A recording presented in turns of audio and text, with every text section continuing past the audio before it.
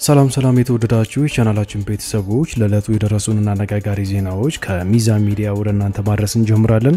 አብራችሁን ቆዩ። በአማራ ክልል ትናንት ረፋዱን የአየር ጥቃት መፈጸሙን የዓይን እማኞች ተናገሩም። በአማራ ክልል ምዕራብ ጎንደር በቋራ ወረዳ ሽንፋ ላይ ልዩ ቦታው ዘውድ ማርማ ተብሎ በሚጠራ አካባቢ ረፋዱን የአየር ጥቃት መፈጸሙ ተነግሯል። በተያያዘ ዜና በአማራ ክልል ጎጃም ማንኩሳ ደንበጫ፣ አይንባ፣ ቡሬ በፍኖተ ሰላም መውጫ ዋንገዳም ላይ እንዲሁም በሸንዲ መውጫ ከፍተኛ የተባለ የተኩስ ልውውጥ እንደነበር ከነዋሪዎች የተገኘው መረጃ ያመላክታል። የክልሉ መንግስት ከቀናት በፊት አዲስ ኦፕሬሽን እንደሚጀምር አሳውቆ እንደነበርም ይታወሳል። በአንጻሩ በፋኖነት ተጠርጥረው ላለፉት ዘጠኝ ቀናት ታስረው የነበሩት 72 የቆሎ ተማሪዎችና መምህራቸው ከእስር ተለቀዋል ተብሏል። ከዚህ ጋር ተያይዞ በአማራ ክልል ምዕራብ ጎጃም ዞን ቡሬ ወረዳ በቅርብ ርቀት ቁጭ ከምትባል መንደር ወጣ ብሎ በሚገኝ መዓልትን ገብርኤል በተባለ የገጠር ቤተክርስቲያን መርጌታ መርሃ ጽድቅ የተባሉ የቅኔ መምህር ከሚያስተምሯቸው 72 ተማሪዎችና ወደ 22 የሚጠጉ በስራ ላይ ከነበሩ የቀን ሰራተኞች ጋር በመንግስት የጸጥታ ኃይሎች መታሰራቸውን ከዚህ በፊት መዘገቡ ይታወሳል። እነዚህ በፋኖነት ተጠርጥረው ለዘጠኝ ቀናት በቡሬ ከተማ በስር ላይ ይገኙ የነበሩት 72 የቆሎ ተማሪዎች ከቅኔ መምህራቸው ጋር ትናንት ከቀኑ 9 ሰዓት ገደማ መፈታታቸውን የምዕራብ ጎጃም ሀገረ ስብከት ዋና ስራ አስኪያጅ መጋቢ ሃይማኖት አባ ኪነ ጥበብ ገብረየስ ተናግረዋል። ጅቡቲ የኢትዮ ሶማሌላንድን ስምምነት እንደማትቃወም አስታወቀች። የጅቡቲ ውጭ ጉዳይ ሚኒስትር ሙሐመድ አሊ ዩሱፍ በትናንትናው ዕለት ከአልጀዚራ አረበኛው ክፍል ጋር በነበራቸው ቆይታ ስለ ኢትዮጵያና ሶማሌላንድ የባህር ስምምነት ተጠይቀው ምላሽ ሰጥተዋል። የኢትዮጵያ በሶማሌላንድ የባህር ኃይል ማቋቋም የኢትዮጵያ ብሔራዊ ደህንነት ጉዳይ በመሆኑ ስምምነቱን አንቃወም ብለዋል። አያይዘውም እኛ የምንፈልገው ኢትዮጵያ ለወጪ ንግድ ገቢ የእኛን ወደብ መጠቀሟን እንደተቀጥል ነው ብለዋል።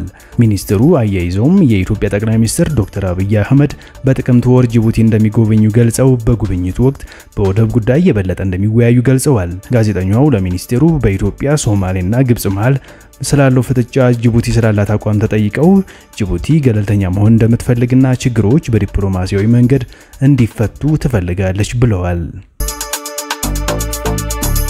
በስናይፐር ይጠበጠባል በሚለው ንግግር የተጋጩት ረዳት ኮሚሽነር ደራርቱ ቱሉና አትሌት ገዛኸኝ አበራ የእርቅ ስነ ስርዓታቸው የጸጥታ ኃይሎች በፈጠሩት መስተጓጎል ምክንያት መራዘሙ ተነገረም።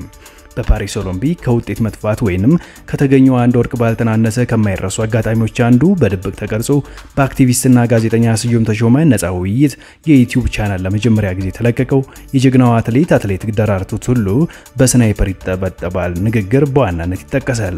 ብዙ ጉዶችና አነጋጋሪ ነገሮችን የያዘው ቪዲዮ በአክቲቪስትና ጋዜጠኛ ስዩም ተሾመ ነፃ ውይይት የዩቲዩብ ቻናል ለህዝብ ከተለቀቀ በኋላ በርካቶችን ለሁለት ከፍሎ ያነጋገረ ጉዳይ ሲሆን በተለይ ጉዳዩን ያነጣጠረበት አትሌት ገዛኸኝ አበራ ከደራርቱ ቱሉ በ sniper ይጠበጠባል ንግግር በኋላ የእኔም የቤተሰቤም ህይወት አደጋ ውስጥ ወድቋል፣ በ sniper ይጠበጠባል ብላ ሞት ብትፈርድብኝም ዛሬም ድረስ ለደራርቱ ትልቅ ክብር አለኝ በሚል ዝምታውን የሰበረ አስተያየት በተለይም ለሀትሪክ ስፖርት official መናገሩ ጉዳዩ የብዙዎችን ትኩረት ሰቅዞ እንዲይዝ አድርጎት ነበር።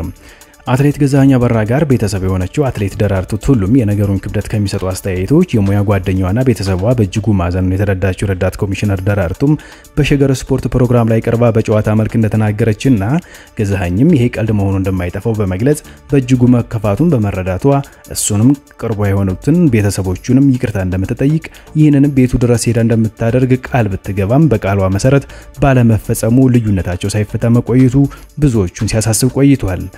ከደራርቱ በስናይፐር ይጠበጠባል ንግግር በኋላ በሁለቱ ጀግኖች አትሌቶች መካከል የተፈጠረው ክፍተት እና ልዩነት ያሳሰባቸው ወገኖች እርቁ ከምን ደረሰ በማለት ከመጠየቅ ባለፈ ሁለቱንም ለማግባባት ቢሞክሩም ፍሬ ማፍራት ሳይችል ቆይቷል።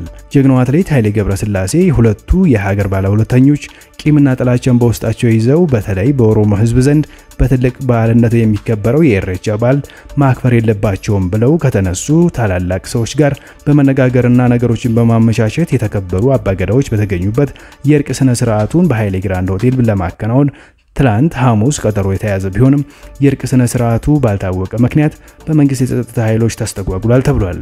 የተጣላ ታርቆ ቂሙን ትቶ በንጹህ ልቦና ፈጣሪ ንጹህ ወዳደረገው ሆራ አርሰዲ ይሄዳል።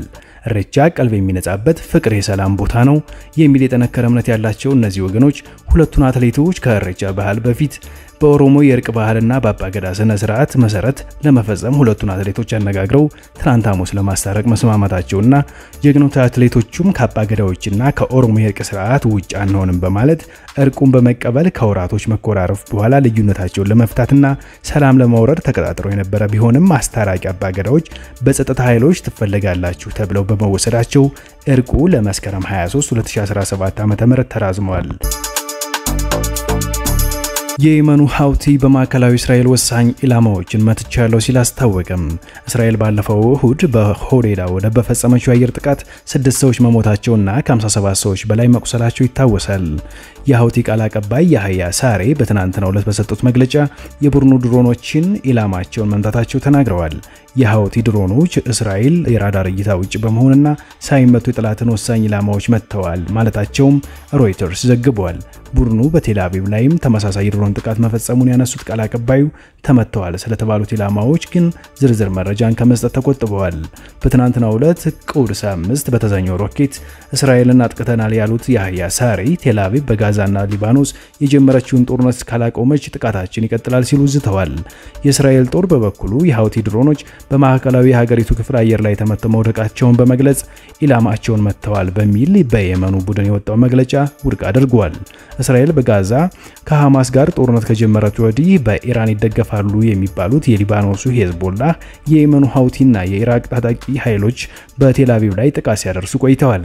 የጋዛው ጦርነት አንደኛ ዓመቱን ሊደፍን ቀናት በቀሩበት በዚህ ወቅት እስራኤል የሄዝቦላ መሪዎችን በመግደል በሊባኖስ እግረኛ ውጊያ መጀመሯን ተከትሎ ቡድኖቹ የተቀናጀ እርምጃ በመውሰድ ላይ ናቸው። በቀይ ባህር የሚጓዙ ከ80 በላይ መርከቦች ላይ የሚሳኤልና ድሮን ጥቃት ያደረሰው የየመኑ ሀውቲ ከሰሞኑን ጥቃቱን አጠናክሯል። በትናንት በስቲያም ከኢራቁ እስላሚክ ሬዚስተንስ ጋር በመቀናጀት በእስራኤሏ ሃይፋ ከተማ ላይ የሚሳኤል ጥቃት ማድረሱን ማስታወቁ ይታወሳል። እስራኤል ባለፈው እሁድ ቡድኑ ከኢራን የጦር መሳሪያ ያስገባበታል ባለችው የሆዴዳ ወደብ ላይ ጥቃት አድርሳ ስድስት ሰዎች መሞታቸውና ከ57 በላይ ሰዎች መቁሰላቸው አይዘነጋም። ተወደዳችሁ የሚዛን ሚዲያ ቤተሰቦች ለዕለቱ ብትሰሟቸው ብለን የመራረጥንላችሁ አነጋጋሪ መረጃዎች የሰማችኋቸውን ይመስሉ ነበር። ስለ ቆይታችሁ ከልብ እናመሰግናለን።